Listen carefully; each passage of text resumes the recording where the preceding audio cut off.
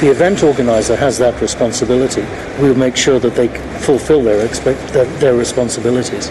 You punish the organizer and How do you punish something in such tragic situation? It doesn't seem a very sensible question, to be quite frank with you. We will work with the organizer to make sure that this never happens again. That's the most important thing. As far as punishment, that's for the police to take forward.